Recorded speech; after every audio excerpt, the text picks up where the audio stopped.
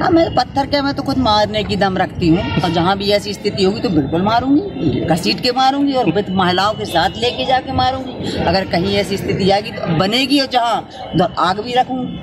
क्योंकि किसी का घर जल रहा है, किसी का घर भर रहा है। ठेकेदारों के और लोगों के सबके घर भर रहे और गरीबों के घर भर रहे जल रहा मर रहा तो क्यों नहीं करूँगी? पत्थर भी उठाऊँगी जो सही लगेगा। ये स्थिति है कि मैं खुद अभी इधर से जाके कल परसों बैठक ले रही हूँ और एसपी को भी एक फ़ोन लगाकर बात करूँगी। मैं खुद चाहती हूँ कि मेरी विधानसभा में जो ब्लैक में दारू बिक रही है, ये बंद हो और अधिकारी इन पर ध्यान दें। बहुत बड़ी मात्रा में। यहाँ तक कि दमोह ज़िले की जा स्थिति है कि जो गरीब महिलाएँ हैं, वो भी बेच रही हैं। और बहुत खराब स्थिति है। मतलब आज गरीब आदमी मजूरी करके आ रहा दो सौ रुपये की मजूरी कर रहा है, सौ, डेढ़ सौ की रस्ते में दारू पी लेता। बीवी बच्चे परेशान हैं, घर पे बच्चे, बहुत खराब स्थिति है। तो मैं भी इसकी मुहिम छेड़ने वाली हूँ कि मेरी विधानसभा में एक नंबर की दारू जो तुम्हारी कलारी है जहाँ पे बाकायदा बिके, लेकिन ये जो गाँव गाँव में दस जगह बिक रही इसको नहीं बिकना चाहिए। पत्थर चलेंगे? हाँ मैं पत्थर क्या मैं तो खुद मारने की दम रखती हूँ। और जहाँ भी ऐसी स्थिति होगी तो बिल्कुल मारूँगी। घसीट के मारूँगी और विद महिलाओं के साथ लेके जाके मारूँगी। अगर कहीं ऐसी स्थिति आएगी तो बनेगी और जहाँ तो आग भी रखूँगी। क्योंकि किसी का घर जल रहा है किसी का घर भर रहा है। ठेकेदारों के और लोगों के सबके घर भर रहे हैं और गरीबों के घर भर रहे जल रहा है मर रहा है। तो क्यों नहीं करूँगी? पत्थर भी उठाऊँगी जो सही लगेगा वो करूँगी। मैम 2023 विधानसभा चुनाव।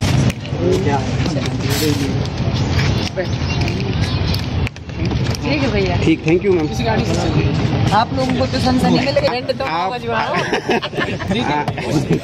आ- आप जबलपुर आ गए यही सनसनी है नहीं नहीं आप लगाने किधर आए थे? मैं अपने बच्चे के लिए निजी कारण से। हाँ। भाभी केशव है हम काम करते हैं।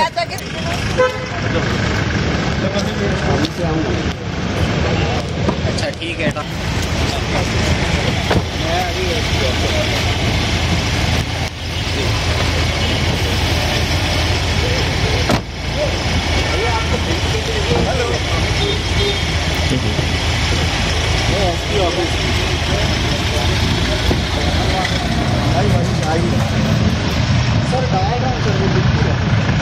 तो तैयारी की क्या ज़रूरत है? पास में चुनाव आएगा तो आपको भी पता चल जाएगा कहाँ से लड़ रहा है। फिर भी आपने सोचा तो होगा कुछ? जनता लगातार आपसे मांग कर ही रही नहीं मांग करती है सभी दमोह से लेके इधर चार चार पाँच पाँच विधानसभा है सब बोलते इधर से लड़ो आप इधर से लड़ो। लेकिन अब जब नज़दीक चुनाव आएँगे डिसाइड करेंगे कि कहाँ से लड़ना है। कुछ सोचा तो होगा। हम सोचने वालों में से नहीं है करने वालों में से है करके दिखाते हैं। यू। मैम अभी कैबिनेट बैठक पचमढ़ी में हुई है तो लगता है कि सही स्थान था सरकार का वहाँ पे बैठक करना? देखिए, सरकार की खुद की सोच है।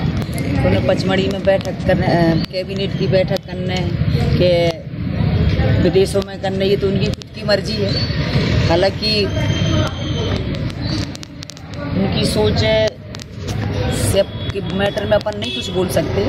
बट हाँ मुझे नहीं लगता क्योंकि जब मंत्रालय है और सारी सुविधाएँ हैं तो बैठक उधर ही होनी चाहिए। और दूसरी बात शायद अभी होली का समय था। तो सब विधायक मंत्री वैसे तो जा नहीं पाते हैं। तो मंत्री मिनिस्टरों ने की सोच एक जे थी कि भाई होली का समय भी है तो एक पंथ दो काज हो जाएँगे। बैठक भी हो जाएगी कैबिनेट की और एंजॉय भी हो जाएगा होली मिलन समारोह भी हो जाएगा।